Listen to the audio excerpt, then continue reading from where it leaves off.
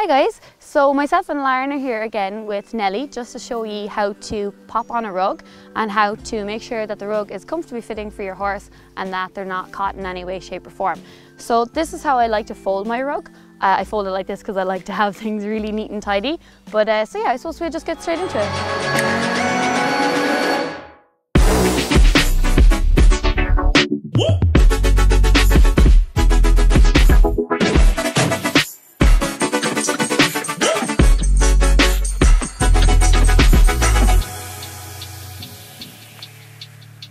So when I put on a rug, I like to just fold it in half just to make it a little bit easier. And I know that a lot of people will just swing a rug up onto a horse, but I feel that for a young horse or for a horse that might be a little bit scared that we can just do it really slowly and make sure that they don't get a fright when we do it. So I just take it apart here like this. And I like to just place it onto their back and sit it nicely. And then I like to take this part, which is the front of the rug, and just bring it up. I always prefer to have the rug up too high and to pull it back as opposed to having it and having to pull it up because the horse's hairs can get disturbed underneath the rug and it's just not very comfortable for them. So I always like to make sure that I can just pull it back like this so it goes with the direction of the hair. So then I like to start always with just tying the front of it because I feel like if the horse was to go and move forward or if they were to escape or if they were to get loose that you'd be you'd know that the rope was secured in the front. Because if I tied the underneath parts here first the rug would start to slide down the horse's bum and the surcingle underneath here would get caught underneath the horse. So it would be a very dangerous situation. And Nelly is quite good so we'll just tie the front here and make sure that she's got enough room that it fits her nice and snugly. So I suppose we can just have a quick look at the crossover surcingles. So this is really important that it's done right because you have to make sure that you perform a cross in the center so they go to opposite sides.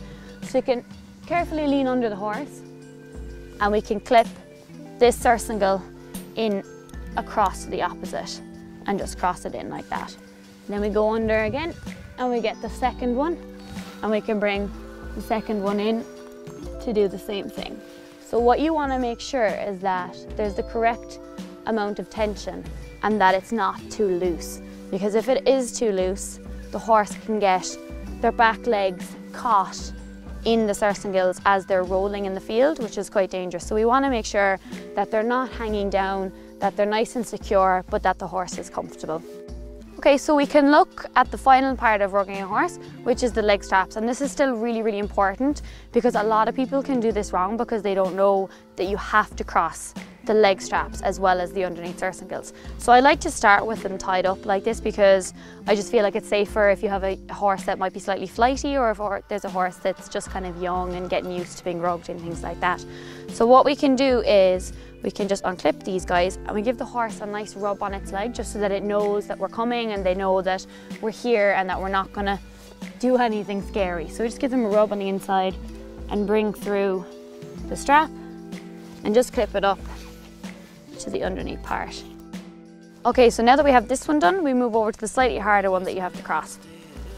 So with this one, you just unclip it here and again, rub their leg to make sure they know that you're coming. And you can just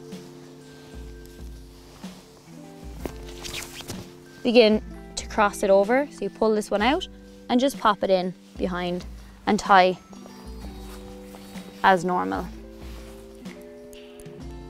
Like this. So you can see, if I lift her tail back and the flap, you can see the way that it's crossed so that it's not actually pulling or rubbing on the inside of their sensitive skin on the inside of their legs so that it's just suspended in the middle and they're perfect on her. Good girl.